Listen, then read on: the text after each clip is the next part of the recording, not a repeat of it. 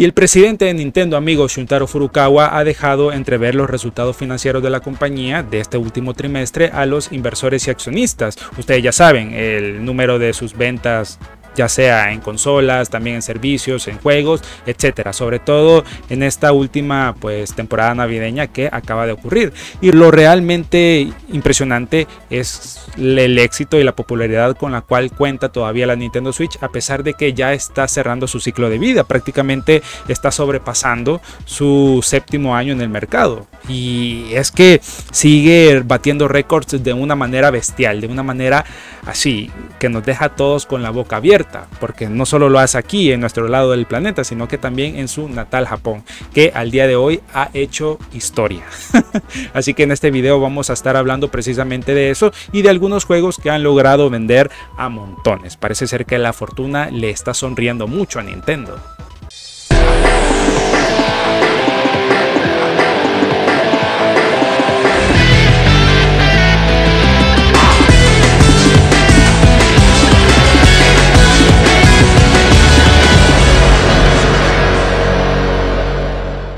¿Y qué onda amigos? Bienvenidos de nuevo aquí a mi canal y estos datos que nos ha dejado al descubierto el presidente de Nintendo realmente son alucinantes amigos y la verdad es que a nosotros como fans también se nos marca una sonrisota en la cara. Yo quisiera que la Nintendo Switch pues eh, pase las ventas totales ya sea de la Nintendo DS y de la PlayStation 2 para convertirse en nada más y nada menos que la nueva monarca, la consola más vendida de toda la historia del mundo, del planeta.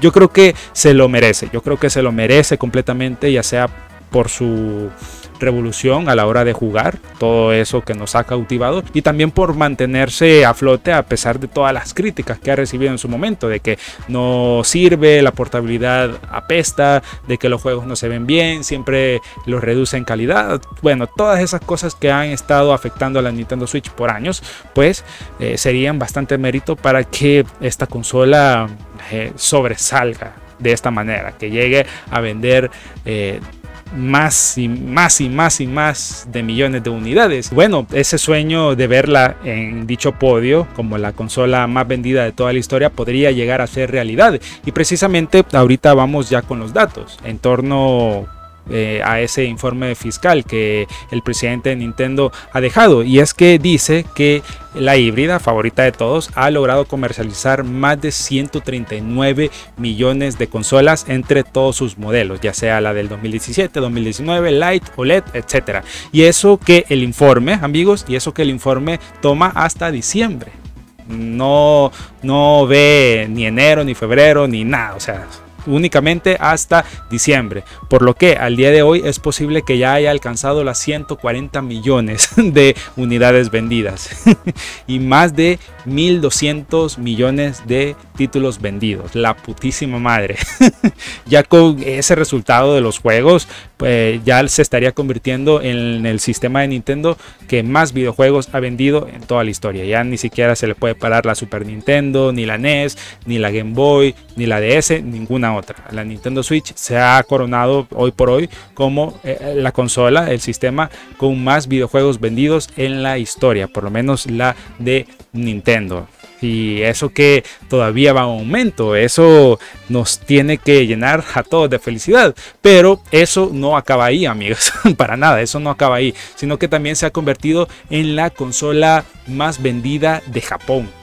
Imagínense, en su tierra natal, no solo la de Nintendo, sino que también sobrepasando a la competencia, llegando a las 33 millones de unidades vendidas, amigos. Todos realmente aman la Nintendo Switch y realmente yo considero de que por ahí ya está en el camino, está en el camino prácticamente para lograr ese objetivo y todo va a depender de Nintendo, amigos. Todo, todo va a depender de la compañía, de cómo ellos todavía sigan proyectando a la Nintendo Switch, si realmente eh, le van a seguir dando su amor, a pesar de que ya está en el horizonte la nueva consola, la Nintendo Switch 2, y si realmente quieren hacer que esta consola ya venda eh, más y supere a la competencia a nivel mundial, pues van a tener que ahí implementar una un método, un método de ventas para que ésta se siga comercializando de mejor forma, a pesar de que ahí eh, coexista con la sucesora. Y es que si nos ponemos a pensar, pueden llegar incluso a bajarle de precio o a, o a que lleguen los Nintendo Select o que todavía sigue recibiendo juegazos increíbles. Recordemos de que Furukawa hace un par de días también mencionó de que le van a estar introduciéndole juegos hasta 2025. Entonces, eso ya nos daba un panorama ya un poco más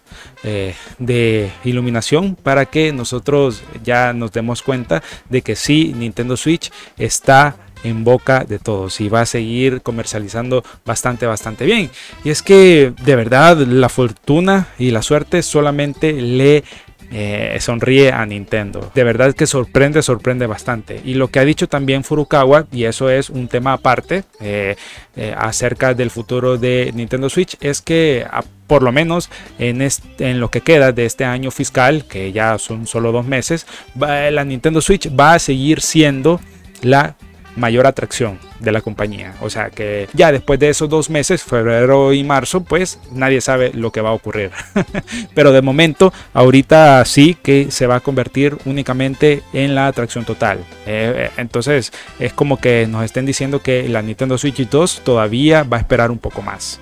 Ahorita le van a tratar de exprimir el jugo totalmente a la híbrida y es una cuestión que ya se veía venir, pues no podían echar al traste todo lo que habían cosechado con la híbrida, así que es normal que todavía le sigan dando ahí cariño, amor y que pueda lograr así alcanzar ese tan anhelado sueño de convertirse en la consola más vendida de todos los tiempos. Y es que lo de Nintendo Switch es brutal, es brutal, es brutal, ya solamente le quedan pues alrededor de unos 15 millones, 15 millones de, unidades para que alcance a la Nintendo DS y PlayStation 2. Y yo creo que si implementan estas mecánicas de ventas y de publicidad y de todo eso, de que pueda llegar a coexistir con la Nintendo Switch 2, así como en su momento lo hizo con la PlayStation 2 y la PlayStation 3, que obvio, la PlayStation 2 tuvo 12 años en el mercado y ahorita ya eh, lo de Nintendo ya estaría pasando al octavo, al, año 8. Así que es algo sin precedentes. Podría llegar a alcanzar esa meta, amigos. Así que vamos a estar muy pendientes de eso. Pero si se sigue vendiendo bien, amigos, es posible que lo logre tarde o temprano.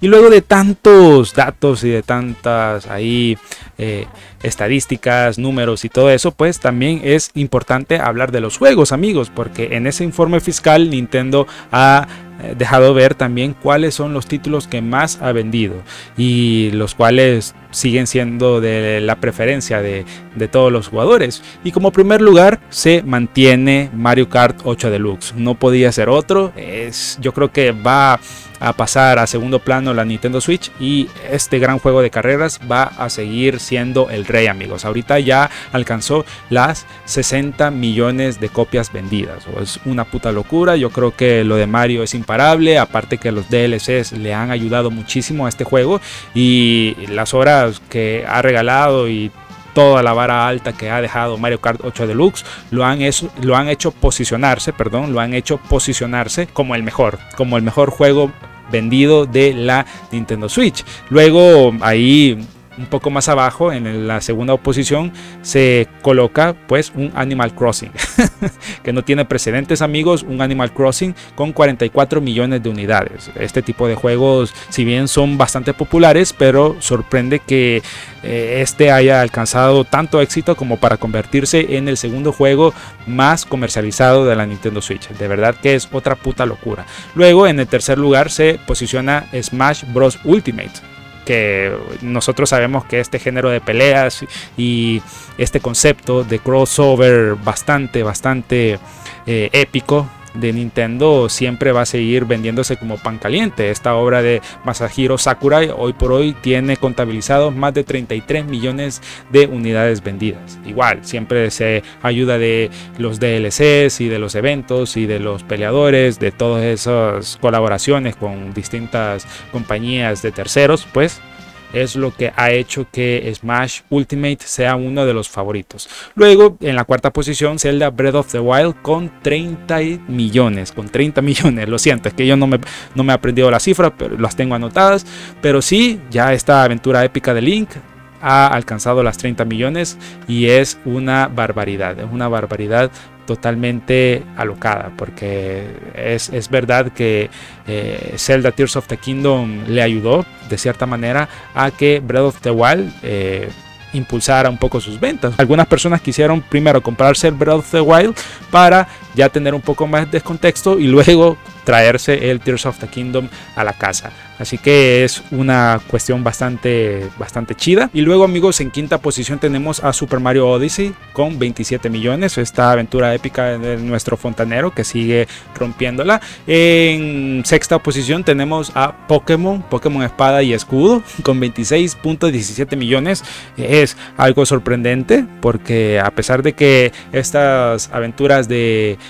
de los monstruos de bolsillo no son tan del agrado de la gente, pues han logrado, han logrado el alcanzar esta cifra inmensa, al igual que Púrpura y Escarlata, que a pesar también de todos los fallos, yo ya lo hablaba en su momento, de todos los bugs y lo demás, pues ha logrado posicionarse con 24 millones, amigos, 24 millones que es una locura, es una locura por parte de Pokémon. Luego le sigue Super Mario Party, un Super Mario Party, un Mario Party con 20 millones, 20, 20 millones que sorprende porque un Mario Party que se cuele en el top 10 de mejores juegos es, es algo digno de admirar. Aunque los minijuegos son muy, muy divertidísimos y eh, pasar tiempo en familia disfrutándolos pues no tiene precio así que bien merecido y luego ahí abajo está en novena posición, Zelda Tears of the Kingdom, amigos. Zelda Tears of the Kingdom, la secuela de Breath of the Wild, que hoy por hoy ya alcanzó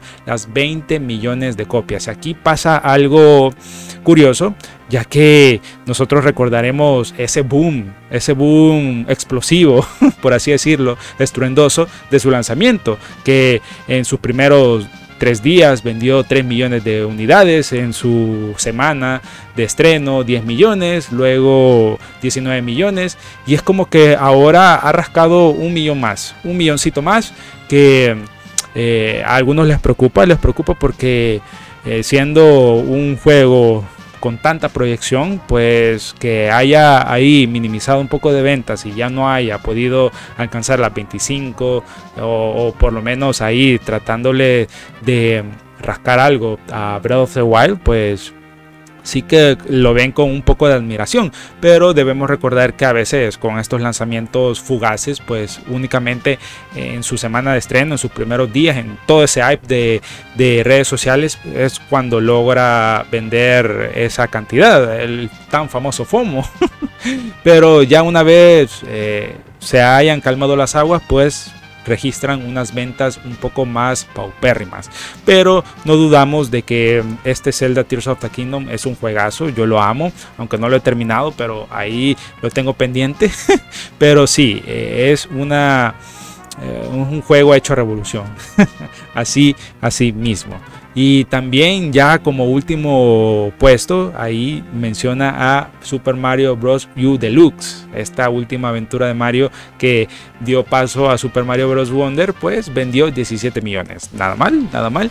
Pero también hay otros juegos, amigos, otros juegos que ahí han estado en, en la discusión, que en el informe, que si bien no han alcanzado eh, cifras estratosféricas, pero sí que han sobrepasado por lo menos las 10 millones de unidades y son juegos que eh, tienen ahí relativamente poco tiempo en el mercado. Tal es el caso de Splatoon, Splatoon 3, que eh, ha logrado comercializar 3 millones, 3 millones de unidades y que a primera vista se vio como que era un juego que había pasado desapercibido, pero al final la gente lo prefirió y quiso complementarse más en el videojuego ah, luego de haber disfrutado del Splatoon 2 y es por eso que se ha ganado un reconocimiento bastante importante. También tenemos a Pikmin 4, Pikmin 4 que se convirtió en el juego de esta franquicia de Shigeru Miyamoto que más ha comercializado con más de 3 millones, 3 millones de unidades que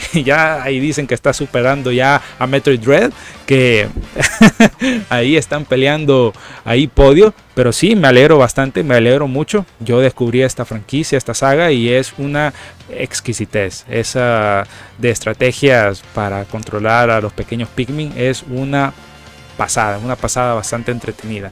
Luego también tenemos a Luis Mansion, Luis Mansion 3, que ha logrado las 14 millones.